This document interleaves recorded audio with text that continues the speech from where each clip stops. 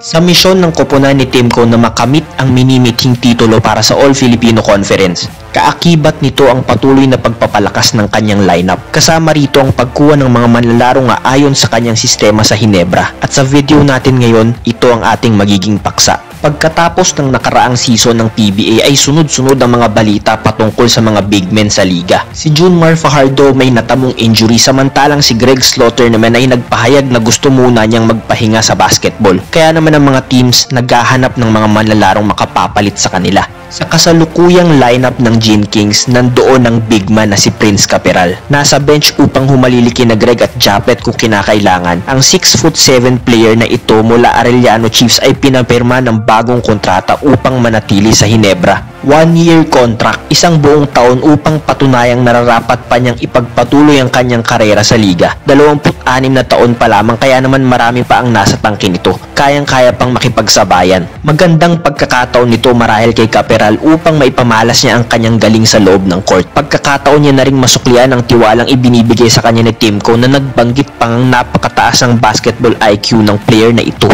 marunong at matalino maglaro. Aabangan natin kung paano niya susulitin ang mga dagdag na minutong maibibigay sa kanya ngayon at kung nasa kondisyon ba siya upang tanggapin ang kanyang panibagong hamon. Sa pansamantalang pagpapahinga ni na Kraken at Greg Zilla, isa na ba si Prince sa mga aangat ang laro? Kung si Prince Caperal nakapirma na, may isa namang pair na nagmula rin sa Arellano ang hindi pa pwedeng mapabilang sa koponan ng barangay. Iyan nga ay si Kent Salado, 22nd pick sa nakaraang PBA draft at ikatlo sa mga pinili ng Hinebra. Nabanggit natin sa nakaraan nating video na opisyal ng bahagi ng GSM sina Arvin Tolentino at Jeric Balanza. Sa video ring ito, isa nga sa ating mga manonood ang nagtanong kung ano naman ang nangyari kay Salado. Nagdesisyon na nga ang pamunuan ng Hinebra na ipagpaliban muna ang pagpirma ng nasabing rookie kapag natapos na ang kasalukuyang season ng Maharlika Pilipinas Basketball League o MPBL. Ito ay sa kadahilan ng mayroon pang ang kontrata itong si Kent sa isang kupunan sa nasabing liga. At para maiwasan na rin siguro mga komplikasyon, pinili na lang muna ng GSM na wag muna siyang isign. Kung matatandaan nga ay nagbanta pa nga ang Manila Stars front row na kasuhan ng nasabing player dahil sa di umano'y breach of contract. Kumbaga sa kasunduan sa pagitan ni Salado at ng Manila Stars ay mayroon siyang nalabag o di napunan na obligasyon. Ang continuous blatant failure to comply o ang patuloy na pagkabigong mapuna ng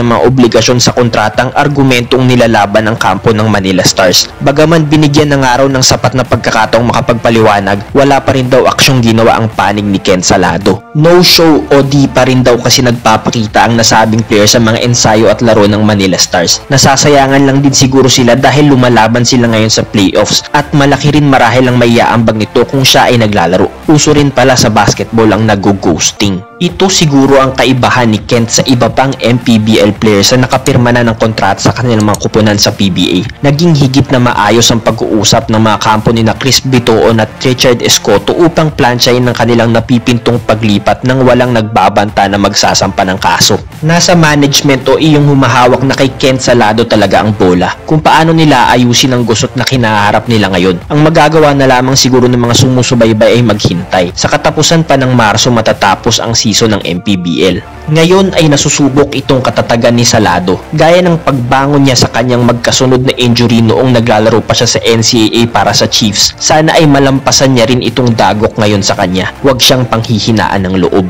Dahil iyong abilidad at talento, mayroon naman siya. Kaya naman siya pinili ng Hinebra dahil nakitaan siya ng potensyal. 16 points, 5 rebounds, 5 assists at 1.6 steals sa kanyang huling taon sa Arellano. Di na masama. May pamatay na mga galawan, exciting kung maglaro at kayang gumawa ng kanyang sariling tira. Welcome addition talaga itong si Kent sa lineup ng Gene Kings. Marami siyang pwedeng matutunan kina Stanley Pringle at Ellie Tenorio na higit na makapagpapabuti sa ikalalago niya bilang isang player at para sa kanyang buong koponan. Sa ngayon, aantabayanan pa natin kung kailan talaga siya makapagsusuot ng jersey na ang nakalagay ay Barangay Hinebra.